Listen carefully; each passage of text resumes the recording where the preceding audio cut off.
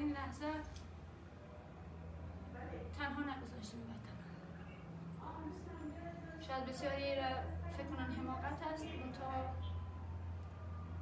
حماقت کسی یا کسان حماقت کسانی کردن که از این وطن سو استفاده کردن وطن را فروختن با خون سرباز وطن بازی کردن. حماقت دنیا کرد پشت به ما کرد. حماقت آمریکایی کردن که تفاهم نامه با طالبان بستن. و متاسف هستم.